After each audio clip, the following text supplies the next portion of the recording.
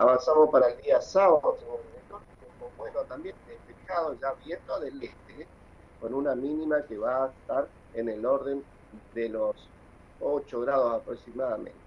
Nosotros ponemos la placa de las 9 de la mañana, porque más o menos la hora que nosotros estamos saliendo, ¿no es cierto?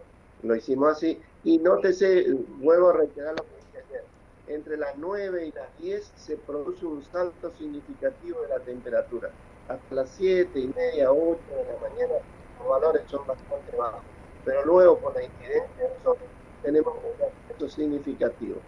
Para mañana, tiempo bueno, cielo despejado, viento del este, una máxima estimada en 28 grados. A la noche sigue el tiempito bueno y fresco.